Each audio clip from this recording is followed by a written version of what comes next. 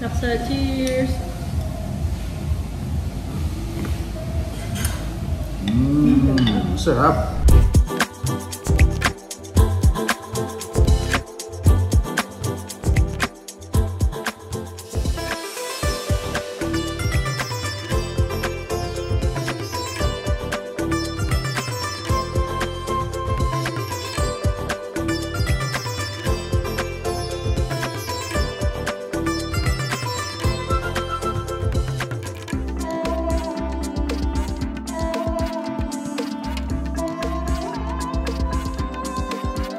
So yun guys, before natin tikman yung inihanda nila para sa atin, eh, gusto kong i-introduce sa inyo ano yung mga pangalan ng mga sinerve nila dito. Usually ito yung mga best sellers dito. So wala po idea kung ano yung orderin nyo, so might as well try yung mga pinapasubukan nila sa atin. So to start off, syempre, mga laksa yung umpisan natin. So meron tayong seafood laksa, beef brisket laksa, at saka yung pork laksa. Sa mga appetizers naman, so meron tayong pork salad at saka yung papaya pokpok salad. More of the appetizers, meron tayong gyoza and yung Portuguese egg tarts. Now for our refreshers, ayan, meron tayong brewed iced tea net, ayan, at saka yung parang aid nila dito, Shirley Temple. Alright, so that was it. Tikman na natin ito. Yung ano matagal. Let's go.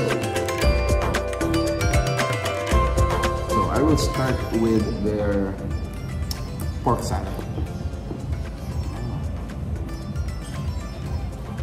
So kang may kanin. Okay, I wanna try this one. Little bit spicy. Pwede naman natang ano, i-request yung uh, spiciness level nila dito. So I wanna comment yung size ng servings natin dito. It is actually shareable. Fit for a big guy. So look at this. So ito yung ginagamit talaga nga. Ito talaga. Ah, I see. So, Even the spoon. Even the spoon is big. I mean, it's scoop. Diba? Lala ni... First try. Wow.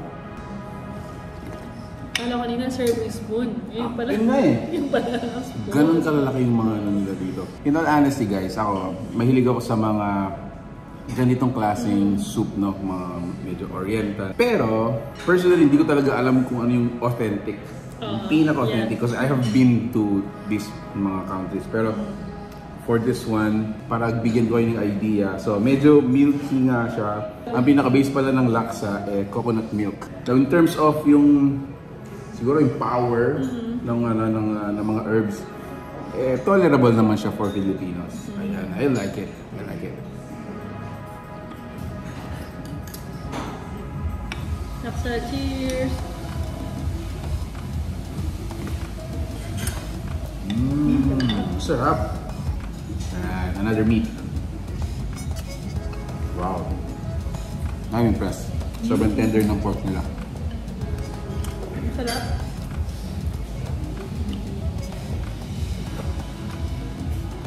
Ito siguro yung beef.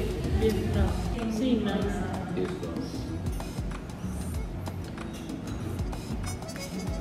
Mm. So guys, hindi pa ako nagko-conclude pero among the two, if you're gonna ask me, go for the beef brisket. Tingnan natin yung meat. Ay, nauna na ako sa meat. pero- Oh, that's fine. Ah. Oh, wow. Oh, wow. Mmm. Sarap. Grabe, sobrang lambot. Tsaka, little bit sweet. No? Medyo sweet siya. And then yung flavor talaga, ano. Kakaiba siya sa pork. Para sa akin yung pork, it's uh, parang tonkatsu siya. Uh, pork chop, breaded, uh, fried, para siya na. It took time for them to cook. Napakalambot. Sarap. Let me check. Ayan, gyoza naman tayo. Oh, wow. Ang harap.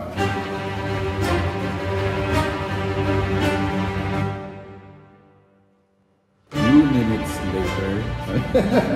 Few minutes later, guys. Um, grabe, ang dami pa rin namin pagkain dito. My take for the servings, it's shareable. So when you go here, kung order po kayo ng dalawa, make sure to order magkaiba para you can still, you know, taste yung the other the other bowl, no? In terms of taste, para sa akin, hindi siya intimidating. I believe Filipinos, kapampangan, will still enjoy this not too strong. Para sa akin, it's not too strong. Comparing it siguro if you're gonna go to Macau. And then lastly, for the price, grabe. As low as 209 pesos. And when you go here every Monday, libre pa yung refill.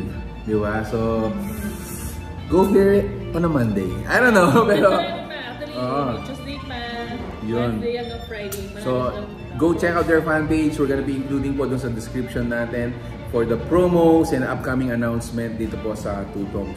Para sa mga adventurous in terms of food, those who are looking for a different taste, you know, not the usual.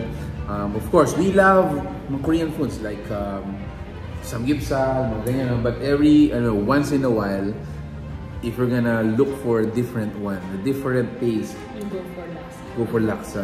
Guys grabe. So ayun guys. All the all the information details about this place we're gonna be including po dun sa description natin. So go check it out.